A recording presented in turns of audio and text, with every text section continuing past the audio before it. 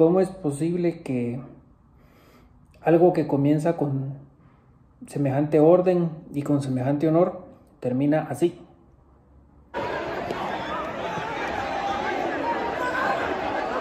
Esto es lo fascinante del béisbol, que el béisbol es, es como la vida, es una metáfora para la vida entera y para el día a día. Veamos el juego en sí. El juego estuvo apretadísimo, estuvo empatado 0 a 0 hasta la octava entrada. Y la carrera ganadora fue una carrera que se anotó en base a errores. Primero un error en la tercera base, un rolling, el que se envasa en, esa, en ese error llega a segunda con un toque de bola. Después, con un lanzamiento salvaje, el corredor llega a tercera. Y finalmente de tercera entra home después de otro lanzamiento salvaje. Ni siquiera fue un hit, ni siquiera fue una jugada de ofensiva normal.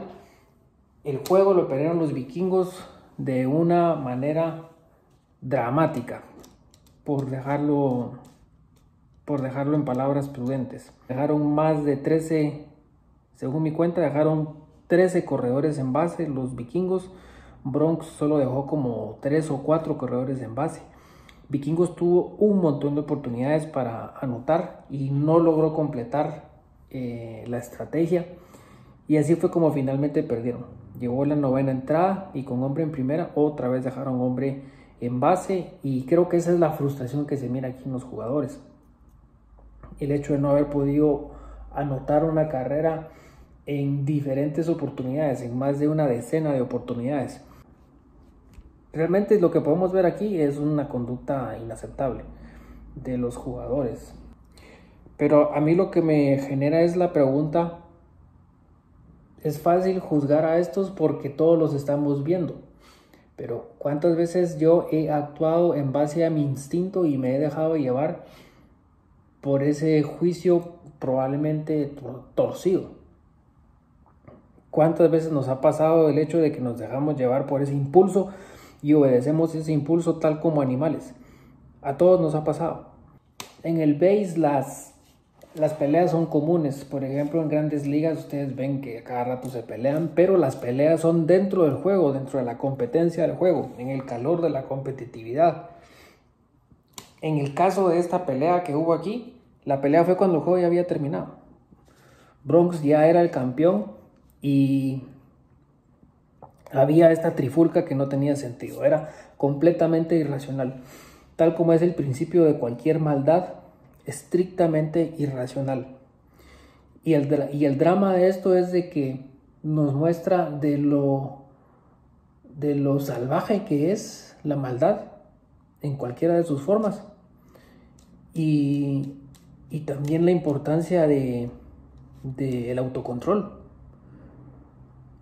Es fácil juzgar a estos dos peloteros que, no sé cuántos fueron más, que estuvieron en problemas, que que pues les falló el carácter y se dejaron llevar por el temperamento. Pero es una tremenda lección para cualquier ser humano que haya vivido de cerca, como lo viví yo, aquí pegado al, al campo. El hecho de decir qué rápido se pierde el juicio, qué fácil es aflojar el carácter y que, la, y que el cerebro se reduzca. Es lo que llaman los psicólogos el cerebro del lagarto. O sea, se nubla el juicio y uno empieza a hacer cualquier salvajada. Entonces se vuelve uno peor que animal, ya ni siquiera llega uno animal. Es una tremenda metáfora esta experiencia y para mí es una lección que nuevamente me dice cuántas veces he actuado sin pensar en consecuencias.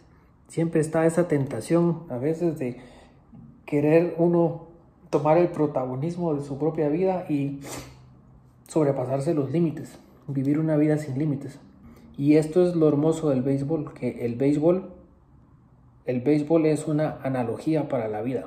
Todos pueden jugar, pero hay que jugarlo limpiamente. Y aquí está entonces.